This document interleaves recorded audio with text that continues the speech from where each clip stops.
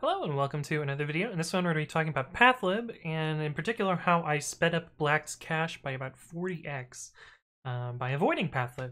Um, so without further ado, I'm going to show you what I fixed and also the research and performance analysis that I did uh, while fixing it. Anyway, let's jump into it.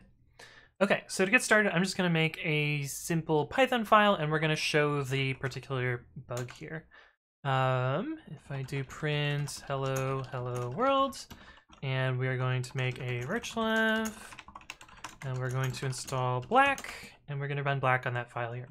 Now, one thing about black is it stores a cache of files that it previously parsed. That way, it doesn't waste time trying to reformat them uh, because black's for formatting is pretty slow, and so that's something that it wants to avoid. And so if we run black on this file, oh, let me show you the cache first of all. Cache um, black ls-alh. Oh, we gotta get in the version directory. And note that this version 20.8 beta 1 still contains the bug. Um, it's only just been merged to be fixed right now. And you'll see in here that there's a couple of pickle files. Um, pickle is a serialization format that's specific to Python. Essentially what it does is it takes the Python objects and then writes a little bit of bytecode in a file such that those objects can be, you know, rehydrated into memory when you load them. Um, and Black has a couple of different caches here. This one right here is the one that we're worried about. Uh, these other ones are caches for the actual uh, language grammar that gets used to uh, deserialize things. Uh, but we're worried about this this pickle right here, which is the uh, cache for the particular paths that are um, being processed by Black. And you'll see on my machine, I've run Black on quite a few files, and so it's about you know about a megabyte, um, which is you know, not not very big, but it's it's enough to make a, a big difference in how Black's caching works here. And so let's start by running Black on this particular file here. Uh, note that this file, you know, we just created it, so it won't be in the cache. And if we run this, let's actually time it so I can show you the, the timing problem here. Uh, you'll note that this, you know, particular file uh, was left unchanged, and it took almost 600 and, oh, well, we ran it a few times. It took about, you know, 530 milliseconds to run on this file. Now, if we were to run on an empty cache, it's actually going to be much faster. And the reason for that is uh, the current version of Black takes a really, really long to load this.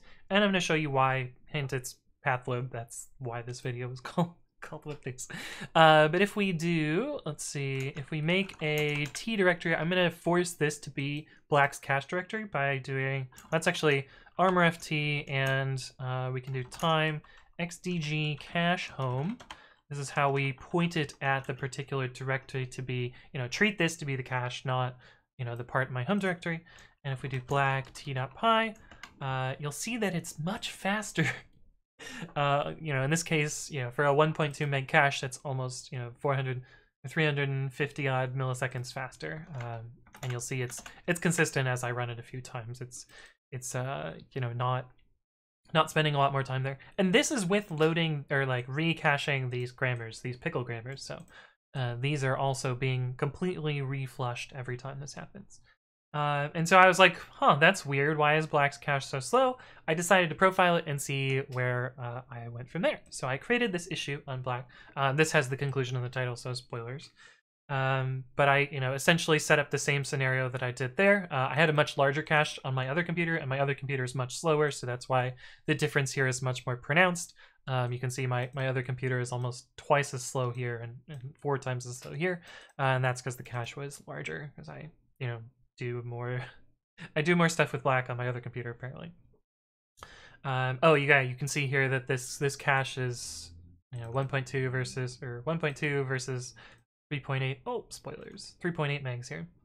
Um, so I decided to profile it and see why it was slow. So I whipped out my performance, you know, analysis tools, and that usually involves doing something like python-mc cprofile-o log.pstats. I've done another video on the same set of pro profiling tools before, so I will link that profiling video in the video.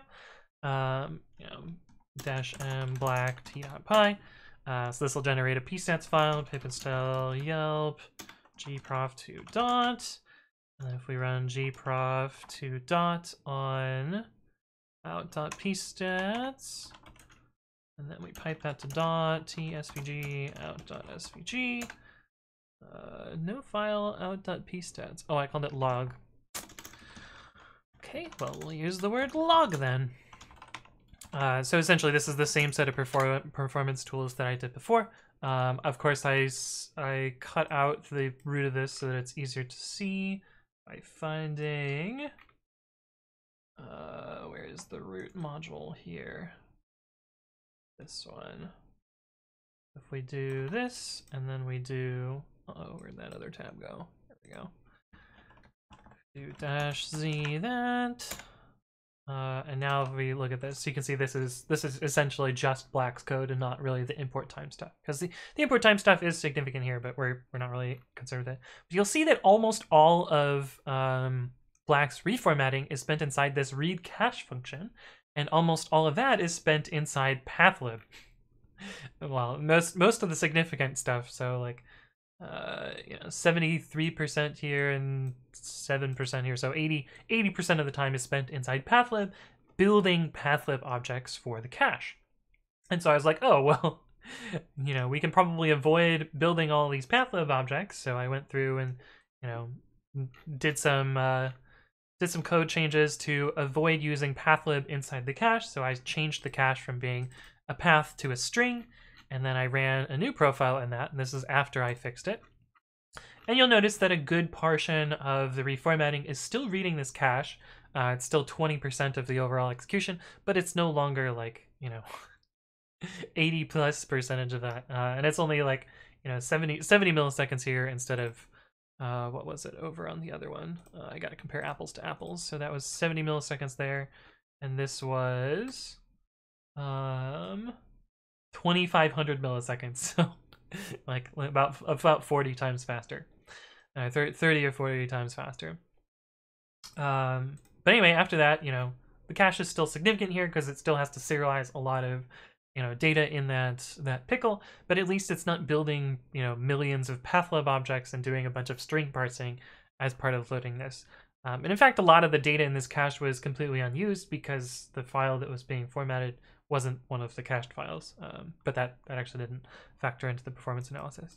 Uh, but anyway, I you know made a patch which fixed this, and so now you know Black's cache is going to be a lot faster um, because of that. So you can see that that patch here. Um, essentially, all I did was uh, take path, convert to str, and change all of the places where it was using the pathlib cache using uh, strings, uh, changing changing it to use strings instead of not strings uh, and adjust the test. But anyway, that was a pretty cool speed up there in Black, so I figured I would show you guys, as well as how I went about finding this and then fixing it. Anyway, if you have additional things you want to explain, leave a comment below or reach out to me on the various platforms. But thank you all for watching, and I will see you in the next one.